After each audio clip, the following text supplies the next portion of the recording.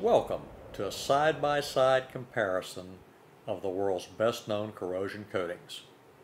These coatings are being subjected to 170 days of the grueling seawater spray test. This test was developed by NASA, and NASA will tell you not much passes this test. The samples are exposed to a continuous cycle. First, they're sprayed with real seawater for four hours and then exposed to four hours of intense light.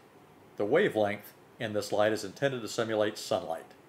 The purpose of this test is to evaluate coating performance in demanding coastal regions. In the center of the chamber, notice panel number 14.